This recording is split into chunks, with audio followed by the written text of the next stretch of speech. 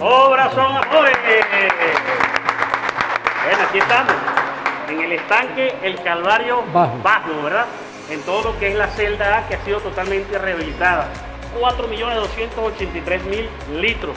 8 parroquias de Caracas van a ser beneficiadas, muy importante, 154.000 habitantes. Nosotros vamos a seguir fortaleciendo las bripaz, las mesas técnicas de agua. Un solo equipo, un solo gobierno. Nosotros venceremos.